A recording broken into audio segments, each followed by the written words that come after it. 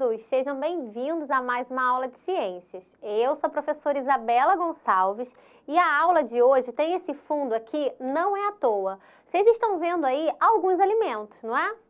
E a pergunta que eu faço para vocês, que é o tema da aula de hoje, é qual a função dos alimentos? Você aí de casa tem alguma ideia o porquê que você se alimenta? Ah, professor, isso é fácil. A gente vai se alimentar por quê? Porque a gente tem algumas necessidades. Beleza, e que necessidades são essas, né?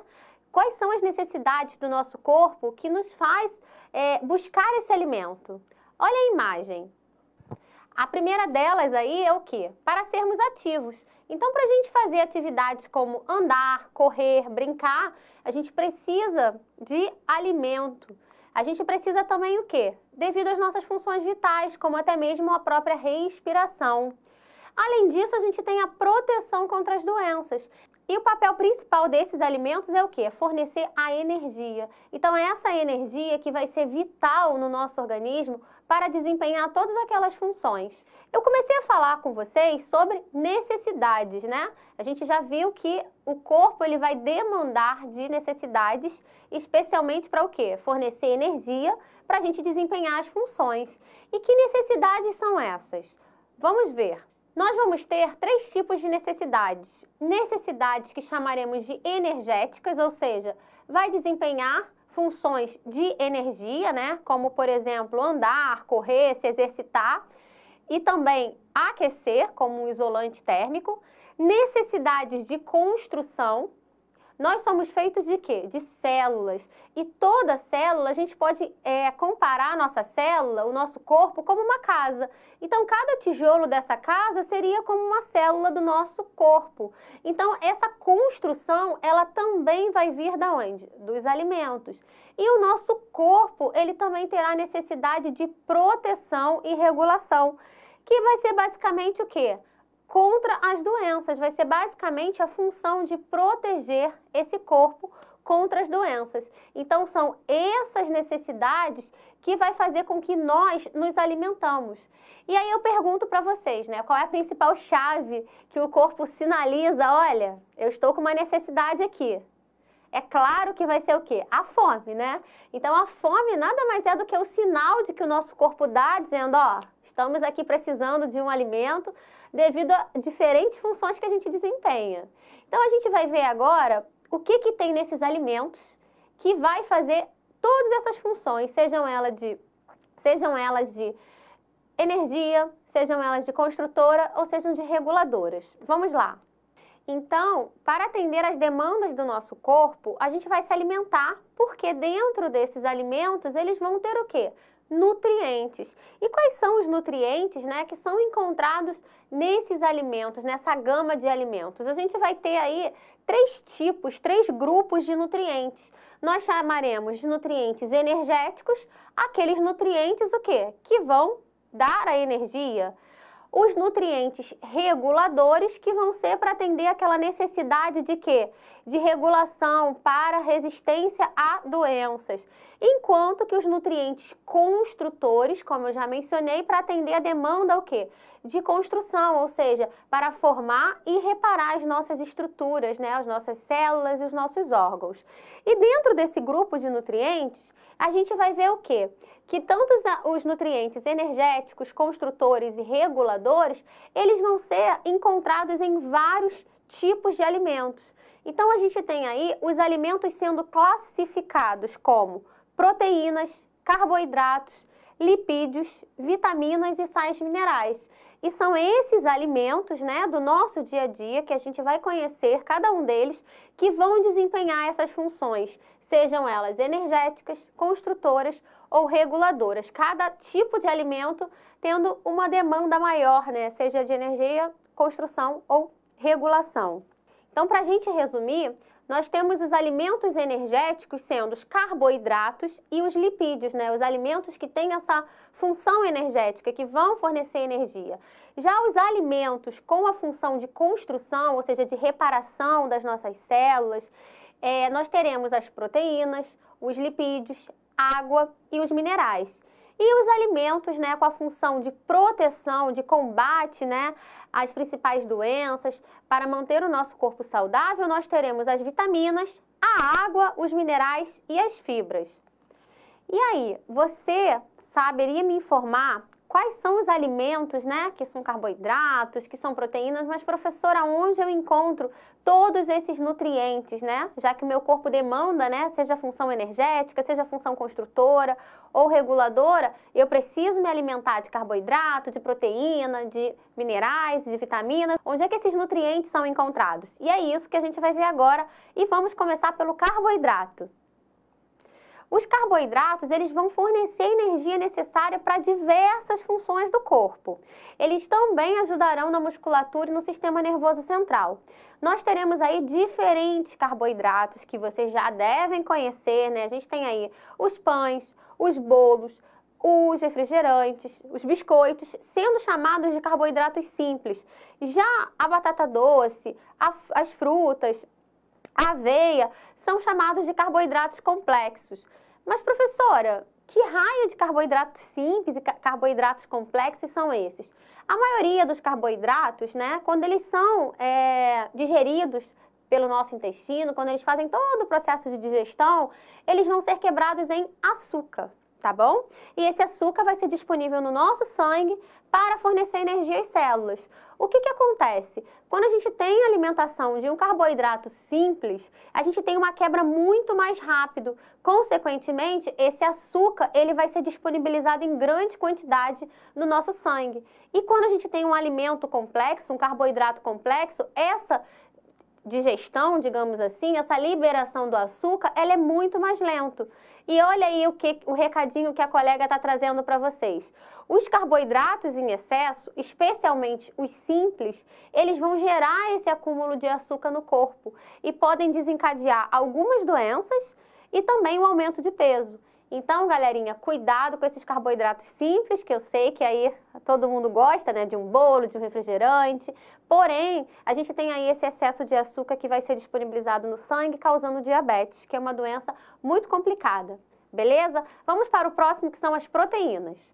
As proteínas, elas na verdade vão auxiliar no crescimento do organismo, na reprodução e na substituição de células e também atuam no desenvolvimento da inteligência. Nós teremos duas fontes de proteínas, né? As fontes de origem vegetal e as fontes de origem animal. Então a gente consegue observar que as carnes, né, as conhecidas carnes, né, sejam elas de boi, de frango, de peixe, e também os seus derivados, como leite, como os ovos, são fontes de proteína. E a gente também tem as proteínas de origem vegetal. Ou seja, aquelas pessoas, pessoal, que não comem carne, por exemplo, são vegetarianas ou veganas, elas não ficam sem esses nutrientes. Elas conseguem se alimentar com proteínas de origem vegetal. Olhem aí, vocês têm a soja, vocês vão ter a lentilha, vocês vão ter uma gama de proteínas de origem vegetal sem necessidade de consumir o animal. E agora chegou a hora das gorduras, melhor, os lipídios. Eles são bem conhecidos também. Olhem aí. Os lipídios, eles vão auxiliar no desenvolvimento e manutenção do organismo e também atuam como reserva de energia isolante térmico e no auxílio da absorção de vitaminas. Ou seja, apesar da gente achar né, que as gorduras são muito ruins, a gente tem as gorduras que são boas e tem sua importância no nosso organismo. Então a gente precisa se alimentar, claro que em quantidades moderadas e depende do tipo de gorduras. Vamos conhecer esses lipídios. Os lipídios têm aí é, duas classificações, né? Os lipídios têm as fontes boas, que são fontes naturais, e tem as fontes ruins, que são basicamente as industrializadas. Então a gente tem as gorduras que a gente vai chamar de gorduras trans, né? Que vão ser de difíceis digestão no nosso organismo, e o acúmulo dessas gorduras ruins pode sim causar problemas até no nosso sistema circulatório, entupindo nossas veias. Então a gente tem como gorduras ruins as frituras, o chocolate, o sorvete, é, e a gente vai ter como gorduras boas o quê? O azeite de oliva, a gente tem abacate, a gente tem algumas carnes, como até mesmo o salmão. Então, a gente tem que fazer algumas opções. Quando a gente pode, a gente pode escolher as gorduras boas em contrapartida das ruins, justamente pelo fato de ser mais saudável para a saúde do nosso corpo. A gente agora vai para uma outra categoria, que a gente vai falar das vitaminas. A gente vai trazer aí agora as vitaminas e elas têm muita importância no nosso corpo. Então a gente tem a vitamina A, que ela é muito importante para a saúde dos nossos olhos. E se a gente olha essa imagem ao lado, a gente vai ver as fontes de vitamina A. A gente tem a cenoura, a gente tem os ovos. Já a vitamina D, ela vai prevenir o ractismo, né? Que vai ser esse enfraquecimento dos ossos. Então, ela é muito boa para o nosso sistema ósseo. E se a gente olha para essa outra imagem, a gente vai ver as fontes de vitamina D além do sol. A gente também pode ter aí a ativação da vitamina D pela absorção dos raios solares nos horários determinados. Já a vitamina E ajuda na reprodução e a vitamina K, ela vai prevenir as hemorragias, né? Ela vai atuar ali na coagulação. Então a gente tem aí diferentes fontes de alimentos que podem ser encontradas essas vitaminas. Então vocês conseguem perceber que os alimentos eles estão repletos de nutrientes que vão ser fundamentais para a nossa saúde, que vão desempenhar diferentes funções e vão auxiliar nas diferentes necessidades do nosso corpo.